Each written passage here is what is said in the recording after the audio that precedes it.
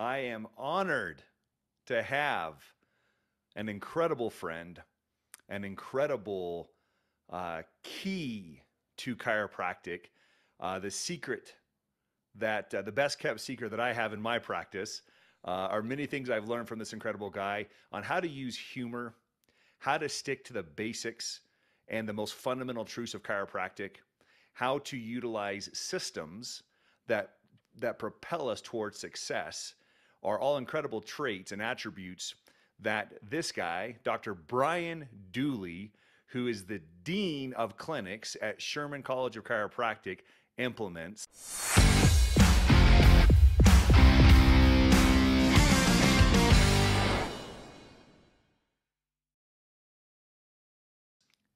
My friend, Brian the Dooley, great to have you on the show today. It is great to be here, Dr. Jake the Hanson. This will be fantastic. so I always love your jacket looks fabulous. Oh, thank you, my friend. And so you do too. It's not just the jacket, but you do too. But it is an absolute pleasure to be with you on Chiropractor's Edge this morning. Oh, thank you. I, I remember uh, one of the first times you and I met at Mile High. Uh, you and I are both very tall, broad, handsome men. So yes. our wives say anyway. Emphasis on the handsome. and I remember looking at your jacket, and my wife goes, I think he's got the exact same jacket you do. And I looked and I remember literally walking up and like pulling your collar back. I'm like, it is. and then that's how our friendship began was me doing that. Uh, it was me doing that. But um, no, uh, you guys, Dr. Brian Dooley is an, is an incredible man. Uh, he is a Hall of Fame speaker. Um, I, I, know that uh, that uh, public speaking uh, is something that you have developed being able to be an incredible speaker, an incredible voice for chiropractic. And you have used your individual talents to propel chiropractic in the light that it is. And so, for those of you guys that um, that may not uh, uh, know uh, Brian, um, Brian practiced or Brian graduated uh, from school in 2005, so practicing about 17 years. And uh, the last uh, the last six months has been a huge, a huge milestone for the chiropractic profession. So this guy decided, so he was having a, a very successful career within chiropractic at Pickens Family Chiropractic. Mm-hmm. And um, you have had, and you've been with Sherman College for how long now? I believe I'm in my 10th year. Is it 10th year? Um, one of the things that we hear consistently throughout our profession um, and through several chiropractors uh, that they don't have enough time to, and then you add it to, you add anything else to that. I don't have time for vacation. Mm-hmm. I don't have time to go to a seminar. Mm-hmm. I don't have time to give back. Hey, how, I, I can't teach. Hey, right. I, am passionate about teaching, but I can't teach because I can't make money, mm-hmm. let alone become the dean of clinics, at the greatest chiropractic school in the world. Mm-hmm. And you use your talents in order to propel you to that to that prestigious uh, level of success. And I would love if you wouldn't mind sharing your journey and your story on why, when people say I don't have enough time, how they haven't had the right systems in place and using their right. individual talents to propel them towards what they really want, and how they can put chiropractic and the, at the at the level and the height that it deserves to be at. I think for me, it started back in chiropractic school. And when people would come speak on campus, I would think to myself, that person uh, sounds like a pretty cool mentor. And every one of them, every one of them said, would say, so I would contact them because they'd always give out their phone number, their email, whatever. Every one of them would say, well, why do you want to be a chiropractor? And, and my answer back then was, well, to help people which I think if you ask most chiropractors, that's probably the first thought, uh, if not actually words that comes out of their mouth. And every one of them said, that's not good enough. You got to search deeper. I'm like, I don't know what you're talking about um, because I never really explored why. I mean, to be honest, the reason why I got into chiropractic was um, I had decided I wanted to work for myself and was driving down uh, was driving down the road going home one day and I saw a chiropractor's office and I thought I could do that because what school six maybe nine months? And so so it on yeah, I didn't know didn't know too much about chiropractic school back then. But then um, so backing up a little bit prior to that moment, I had several jobs. Some of them were pretty cool. Worked for the Atlanta Braves, worked for a radio station, built sets for movies and uh, TV commercials. So did some cool things. But those cool things, even though the events themselves were cool, working there left me pretty empty. And so I, I, I didn't feel really fulfilled. I didn't have a whole lot of guidance just growing up. I'm I'm a lot different than my dad, and so that creates issues uh, just because I didn't want his path. His path was great for him, but it wasn't what I wanted. He wasn't able to figure out what I wanted. So, so even going to undergrad, it was like, what do I want to do? I don't know. And what about the CIA? Okay.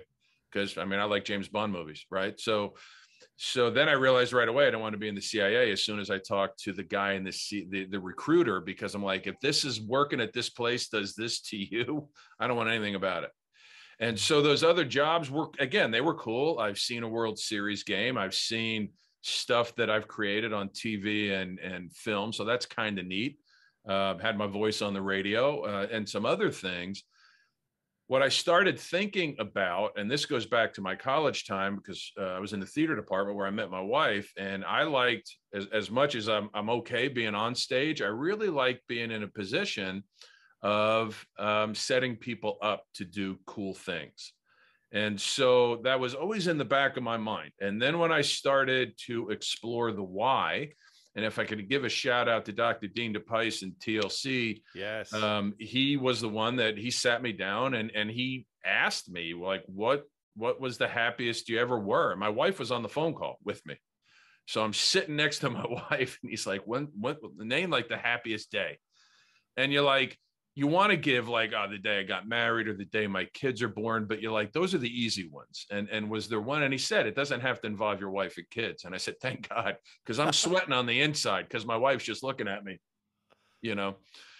And it took me 20 minutes to really think about it and I, I i thought about a time my wife and i were on vacation in mexico and long story short we go snorkeling. Um, we were it was just the two of us so we left the kids uh, home i mean with people so they were they were looked after but we we were i was swimming around and i realized my wife was done swimming. And so i swam over to her snorkeled over and and i said are you done? And she goes yeah. I said, and my thought was like i didn't feel like i was done yet doing what i was doing. And so she said no i'll wait for you. I'm like it's probably going to be like an hour. And he goes yeah no problem. And i said that's crazy. Who wants to watch my fat acetabulum swim around the lagoon? And so i told her I, acetabulum yeah, my fat acetabulum. So I said, or only acetabuli. I got, only a chiropractor. only. Yeah. Dude, Listen, I... this talk is for chiropractors. So I'm going to use the lingo. I know the lingo. I know the lingo to be a chiropractor. At oh least that lingo. Gosh. I love so, you. So I send, I sent her. I said, well, why don't you go back to the condo and go read your book? Because she loves to read. And she goes, you wouldn't mind if I did that? I said, no. And then what happened that week was, and I realized we really did exactly what we wanted to do in the moment. We, we weren't doing, we weren't serving our kids, we weren't serving our jobs, we weren't serving our parents. Uh, and, and even to a degree, we weren't serving each other. She was able to go read and sit on the beach. And for the rest of the week, what I did was I actually just put my headphones in and watched the water flow by. And then I would go snorkel when I wanted to go snorkel. Um, so we were together but we it, it, was finding that we were really starting to serve our our purpose. And so what i loved was we were able to do what we wanted to do. And so dean says well that's your why. I said what? He said you love for the people that you love to do the things that they love to do. And so so dean can put things only way that dean can. And i said boy that's totally it. Because those other jobs that i did i enjoyed being on the technical side of stagecraft. So i would build the set to see the actors go perform. Same thing happened in the movie and TV business. Same thing happened when I worked for the Braves. I was able to create an experience for people to come enjoy a baseball game. Um, in the radio, same sort of a thing was I set up, I was the promotions director. So I set up all the live remotes so that the on-air talent could do their thing. And so I really enjoyed that. And well, how do you, can you, is there something where you can do that? And so then when I decided to do my six to nine month education in chiropractic, I was I had to go find a chiropractic school. So we had lived in um, Atlanta, so we knew about life, and we thought, well, maybe, and at this point we had moved back to South Carolina. So I said, well, maybe we will, maybe I can go to life. I can come back on the weekend because my daughter was born. We really liked raising our daughter in the upstate of South Carolina. Then I got on this. There's this thing called the internet that was just starting, and heard and, of this and intranet thing. right. And back then you didn't Google. I was still asking Jeeves for those that remember that. So I asked Jeeves about chiropractic schools, and the first thing came up was some school in Davenport, Iowa. And bear in mind, I knew zero of the history of chiropractic. So my first thought was like, who in the HE double hockey sticks would want to spend uh, what I was realizing was three years in in Iowa? Uh, then I saw Life was number two, and then the third one I saw Spartanburg, South Carolina, which at the time was about an hour away from where I was living. And my wife is from Gaffney, South Carolina. And anybody that's been to South Carolina, or if you watched House of Cards, then you know the senator there was from Gaffney. That's from where the Big Peach is on Interstate Highway 85. So, um, and the Big Peach is about 20 minutes from Spartanburg. So I asked her if she had known about this school. Well, I know I had no idea. So we contacted them, and and very long story short, we went up for their Sherman showcase. Now we have weekends. Back then we had mornings, and so I showed up at Sherman with my wife and daughter. Uh, my daughter was probably about three at that point. So doing what three-year-olds do, she decided to pitch a hissy fit right as we're getting ready to go in. So my wife's like, "Will you go?" And I'll just deal with her. I said, "Okay." So she goes. So I go inside, and the first person that spoke was Dr. David Koch, who um, was the president at Sherman College. And so he opens his mouth and he talks about this thing called innate intelligence. And it just struck me about this, this concept of innate, because I, I think most everybody to some degree will agree with it and understands it. It's just it's when we try to intellectualize it. And so in your gut, you realize, yeah, that's how it works. But I'm like, wow, that just sounds awesome. And this is before I discovered my why. All those things I had done before to set people up. Now I can do that because when I'm helping people express their innate intelligence at 100%, then I'm setting them up to have the biggest life possible. And that sounded pretty sexy to me, quite frankly. And so, so as soon as his talk was done, I'm like, all right, well, I'm in. And now I'm just going to deal with the rest of the day because I wanted to be sure I got the free lunch before I committed anything. Of course, So- obviously. As as you should. So yeah, there's practice tip number one: always take the free meal. And so, so then, uh, yeah, then then I decided, yeah, I'm going to do it, and and I went outside, all excited about innate intelligence. Want to tell my wife about innate intelligence, and she gave me the death stare because she'd been dealing with this cranky kid. So it left me to my own devices a little bit because, yeah, it was unfair for her to tell me how great my day was when she did not have a good day. So then I started. So I had to go back to school. Um, that was interesting. So at this point, I'd been out of school, oh, about six years.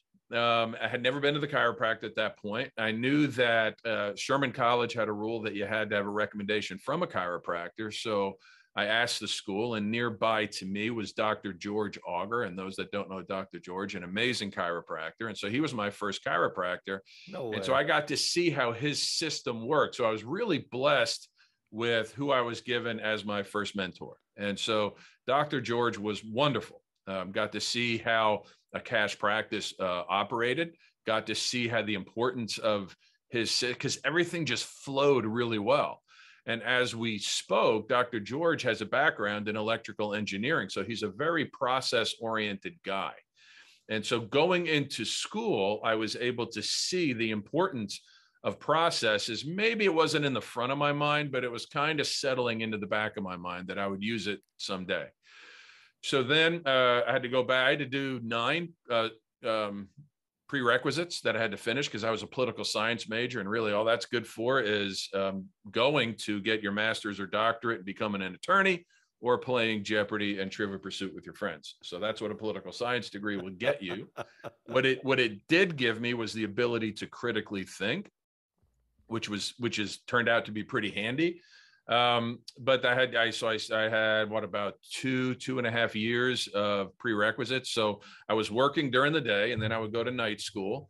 And back then, I did some virtual learning, which was plug in a VCR cassette of somebody talking um, college algebra and watching algebra on the VCR.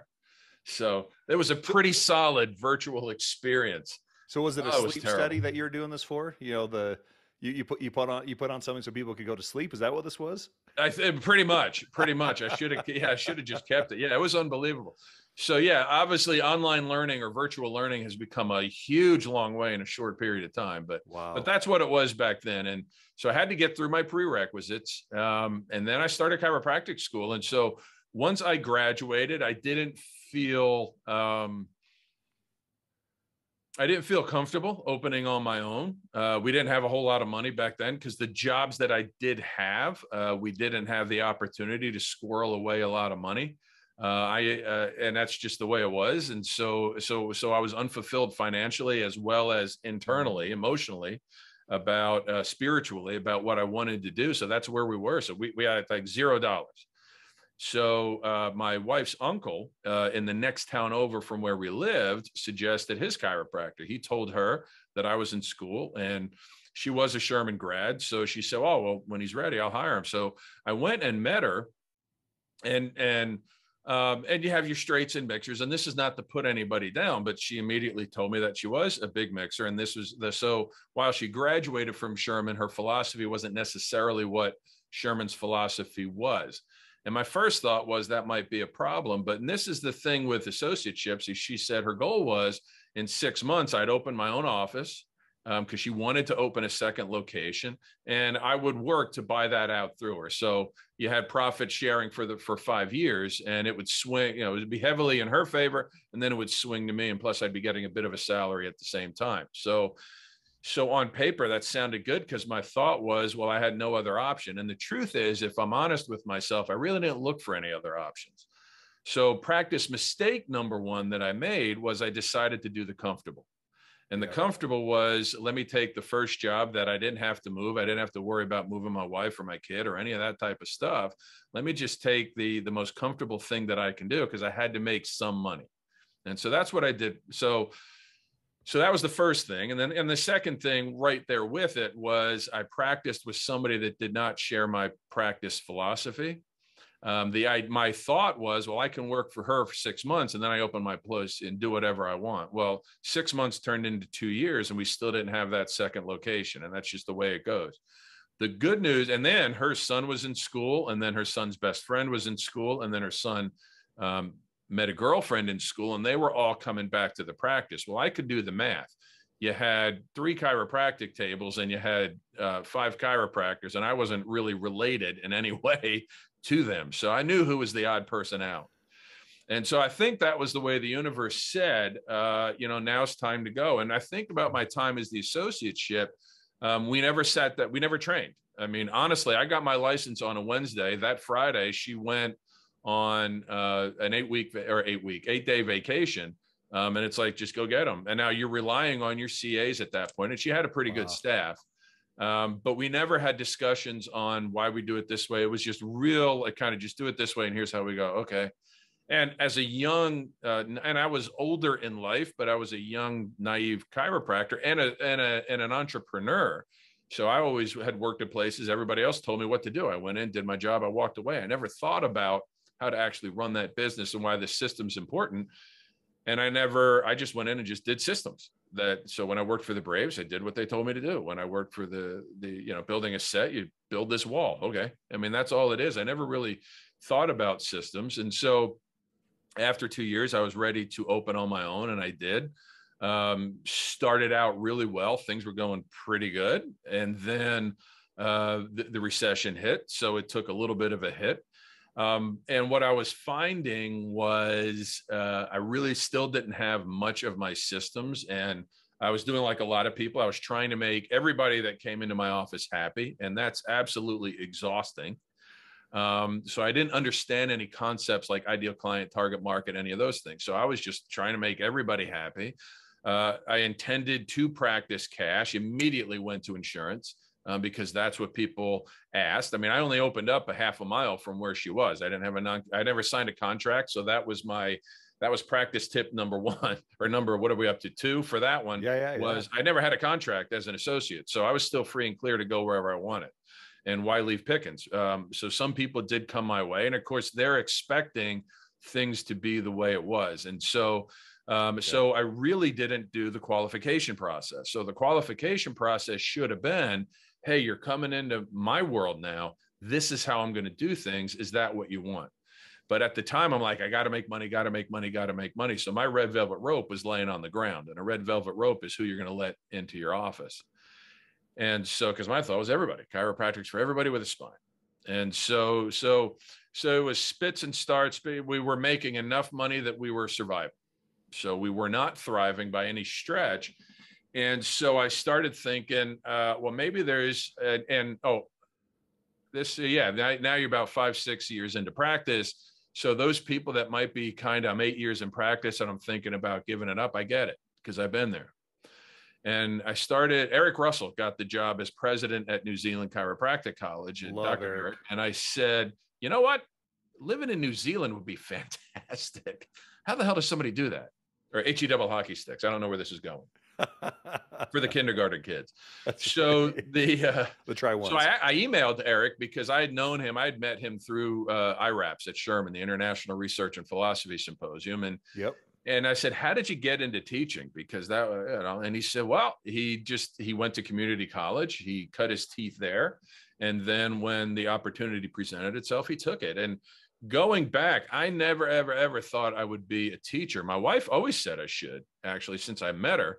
Um, but I thought she was crazy because back then the idea of speaking in front of people scared the uh, excrement out of myself, and and it was like no way. And back then i had such social anxiety like when i was a kid i wouldn't even knock on my friend's door. I would wait for them to see me literally sitting in the driveway.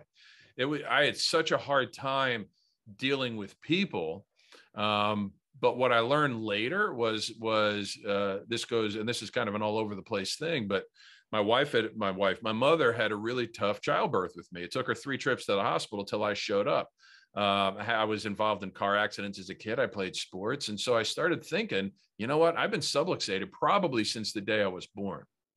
And so because of that, it was choking off uh, my ability to deal with other people. And so I was a pretty emotionally unstable kid.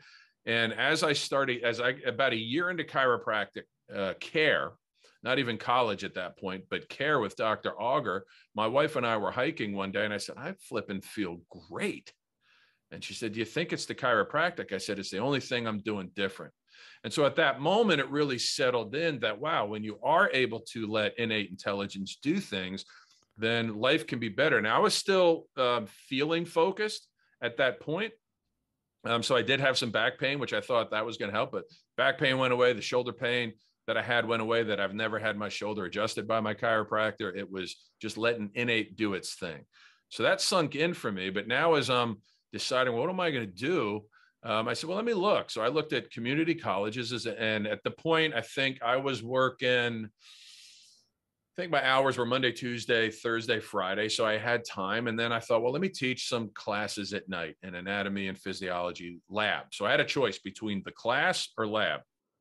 I chose lab because that was a 15 minute lecture versus the class, which was three hours because they were block lectured back uh, back then. And I'm like, I've never taught before. And so, so then I said, well, let me give it a go. And so here we go. So let's imagine you're the audience. What I'm looking at is the audience is the class. Right here to, to my left is is the uh, computer.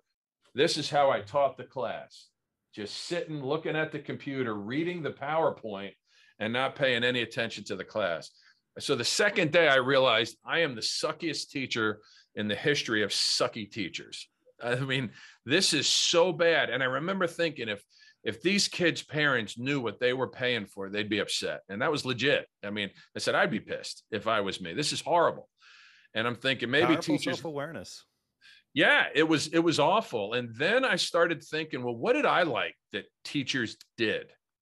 And i picked the things that i liked that they did because that jived with who i was as a person. So it's kind of like when you advertise through an archetype you're, you're going through a lens of who you are in order to grab people gravitate towards people. So i said let me pick some of the things that i liked and that next class it was like 180 degrees. All of a sudden the class seemed a hell of a lot happier And then then I was, I said, wow, that went really well. Why don't I do it again? And so it went really well. So without knowing it, I was developing my system of how I was going to uh, be in a classroom. I mean, some of it was humor, some of it was just being being fair. Um, some of it was learning you you you have to say no at some point. Um, so it's kind of like being a parent. So it's I realized I had to get over the the I wanted everybody to like me versus I wanted everybody to respect me and and the endeavor that we were doing and and so then I just started having fun. I mean, if you're not having fun in what you're doing, uh, you, you got to either figure out another way to do it or go do something else.